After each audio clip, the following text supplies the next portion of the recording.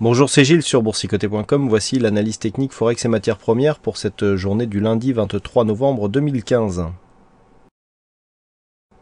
Et donc avec une paire de devises euro-dollar qui est en train d'invalider la sortie ici de ce biseau, puisqu'après avoir connu ici une phase, de, une phase de hausse, on attendait un premier objectif ici à 1,0824, on n'a pas été jusqu'à cet objectif et on est même revenu ici sur la zone de résistance comme support, mais lorsque l'on se rapproche, eh bien on se rend compte que on s'approche ici, on tente une réintégration, on va marquer des contacts avec la balle inférieure, on casse ici le précédent point bas significatif, et surtout on approche de la pointe ici du biseau.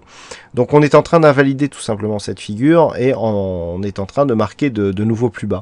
Regardez ici sur cette bougie, hein, la bougie qui est en train de se tracer, on a un plus bas à 1,0592, c'est-à-dire on est en train de valider un nouveau plus bas significatif et on le voit la dynamique ici est toujours fortement baissière. Donc on avait ici cette, résidence, cette résistance, pardon, cette résistance, elle était, elle était valable, mais on est en train tout simplement de l'invalider puisque les cours ici continuent à s'orienter euh, à la baisse. Donc on est dans une continuité de mouvement.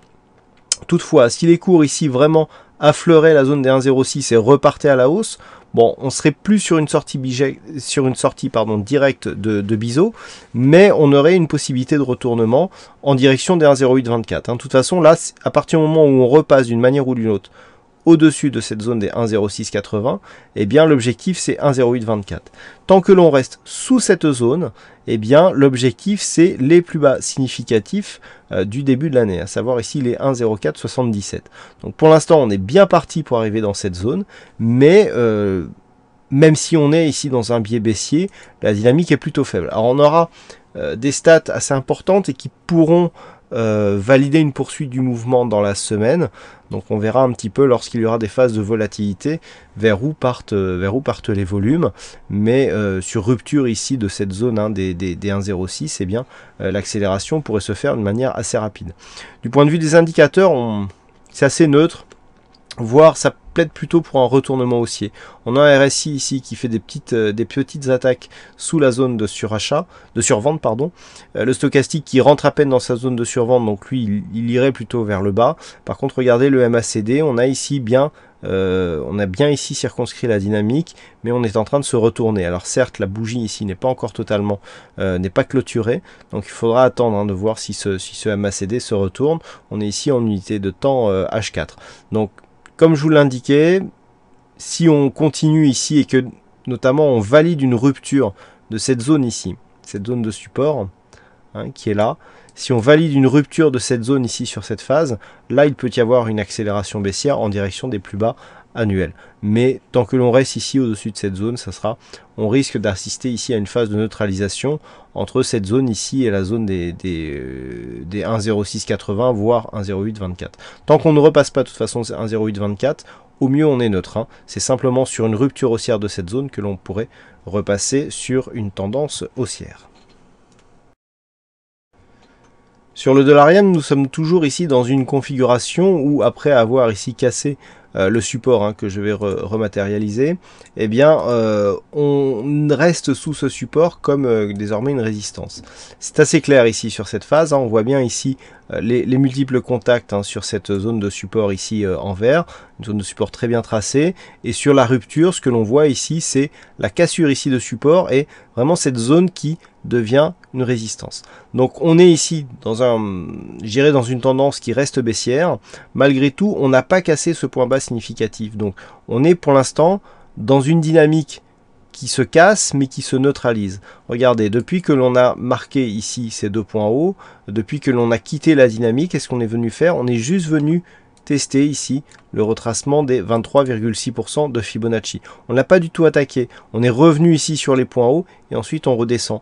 Donc tant que l'on valide ici des allers-retours entre cette zone des 23,6% euh, de Fibonacci qui se situe à 122,30 et la zone de points hauts ici, on est dans une phase de neutralisation. Il faudrait vraiment casser cette zone ici des 122,30 pour valider un objectif sur retracement des 38,2% à 121,49 avec cet objectif possible intermédiaire à 121,70. Et naturellement, une rupture haussière ici de cette zone des 123,60 validerait une poursuite de la dynamique haussière malgré la rupture que nous avons ici sur cette zone de support oblique.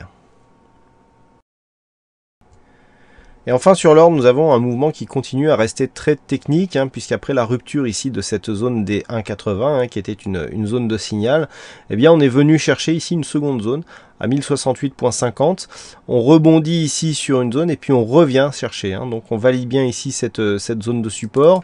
Euh, précédemment, on avait ici cette zone qui euh, de cette phase de hausse hein, sur laquelle on va se, rapprocher. Sur le rebond, ici, on était repassé au-dessus des 1080. On avait retrouvé ici cette zone comme zone de support et puis on est repassé en dessous. Donc, on est vraiment sur une phase où les rebonds techniques ne fonctionnent pas. On a toujours une succession de points bas qui est, euh, qui est baissière, mais ça tente à se calmer ici sur les zones de, de points bas. Donc, on est pour l'instant sur une stabilisation court et court terme, mais qui reste dans une tendance à dominante plutôt baissière. Hein. On voit donc la succession de plus hauts dont je vous parlais tout à l'heure qui est euh, toujours de, dont les plus hauts vont toujours de plus en plus bas. Mais on, voilà, on a du mal à enfoncer ici. Alors la dynamique pourrait le permettre, hein, ceci dit. Donc si dans les prochaines heures on valide ici un enfoncement des 1068.30, eh bien on pourra aller chercher de nouveaux objectifs hein, donc sur euh, l'or. Alors pour trouver ces objectifs, on peut comme j'ai le fait souvent, euh, tracer les retracements de Fibonacci. On a désormais une phase de consolidation telle que je vous l'ai montré, voilà. Et donc là, sur une rupture ici de cette zone des 1064 dollars l'once, le prochain objectif se situe ici sur les 1049. Hein. Ça, c'est le prochain objectif, voire même le 1024. L'extension de Fibonacci de 261,8%, je le rappelle, c'est une extension qui est rarement atteinte. Toutefois, vu le, peu de, volatilité que nous avons actuellement, euh, donc ce qui, ce qui explique hein, que, que ces Fibonacci soient relativement proches, on pourrait sur une accélération venir rejoindre ces deux objectifs, mais en fonction des mouvements du marché, eh bien ceux-là seront certainement assujettis à des déplacements. Toujours est-il que Tant que l'on reste ici sous cette zone des 1089 dollars l'once, eh bien on reste dans un mouvement baissier sur le gold. Voilà ce que nous pouvons dire sur cette analyse technique Forex et matières premières. Passez une bonne soirée, bonne chance dans le prochain trade et on se retrouve dès demain pour d'autres analyses techniques sur le site boursicoté.com. Bonsoir à tous.